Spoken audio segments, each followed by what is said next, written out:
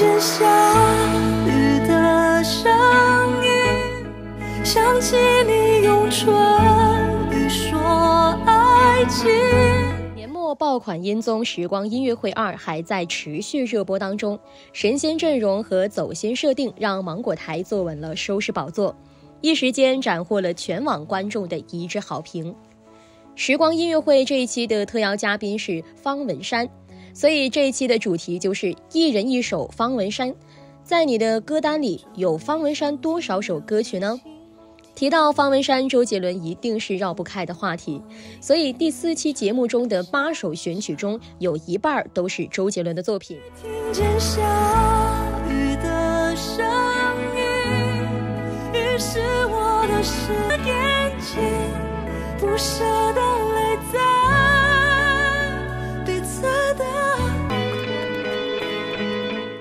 时光音乐会上，周深重新演绎了经典歌曲《听见下雨的声音》，相较于原曲更有力量，完美的适配了周深的超强实力。周深那充满治愈力的声音，仿佛在娓娓讲述一段故事，直击我们的心灵深处。听他唱歌真的是一种享受，是一场听觉盛宴。方文山说被周深的歌声穿透了，这个版本啊确实太有穿透力了。他的歌声带动着众人的情绪，让人走进了画面里。一首经典老歌在周深的深情演唱下，居然直接把田震给唱哭了，真的是非常好听，听得让人心碎。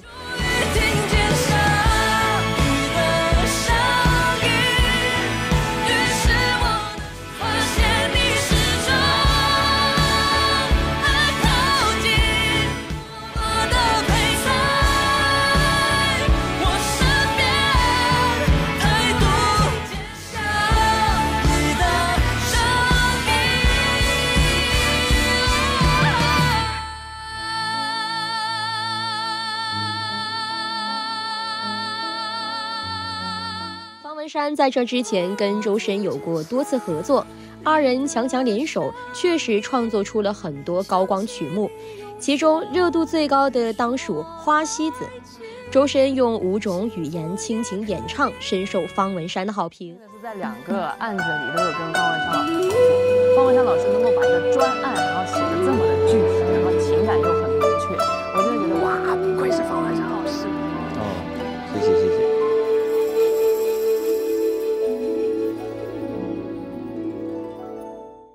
在音乐上的实力，让他一开口就能让前辈们无法因为他是小辈就轻视他，能镇得住场子。而他的性格有趣儿，他身上那种美好的、容易让人亲近、放松下来的感觉，很适合时光音乐会这种慢综。任疾风吹呀吹，快停止！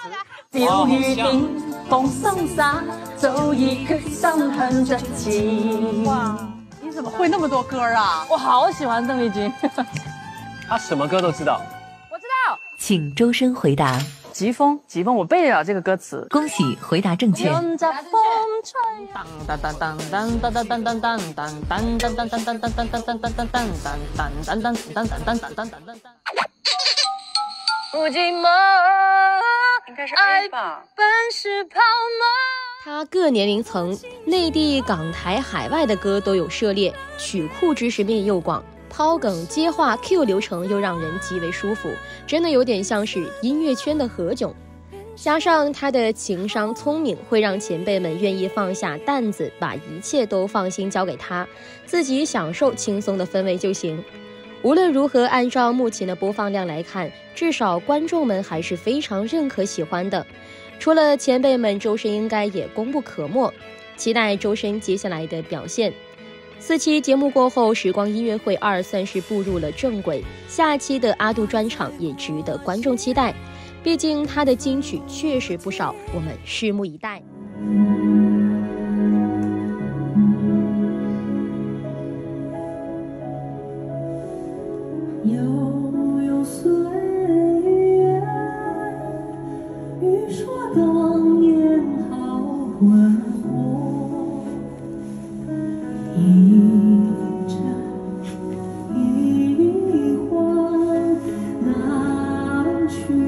You.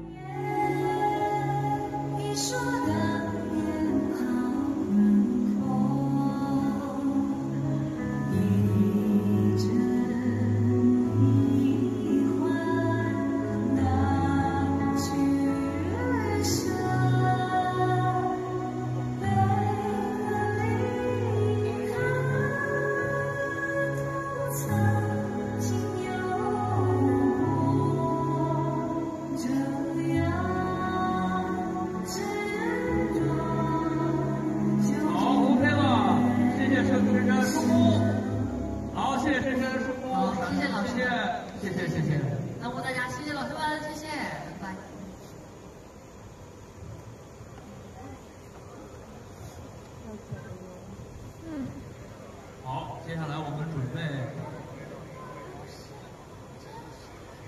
来接下来我们准备一首歌送别二零二二。送别二零二二我们现在把同仁堂的灯箱牌撤一下换到我们的道具台儿还有黄桃罐头台上。来五位老师。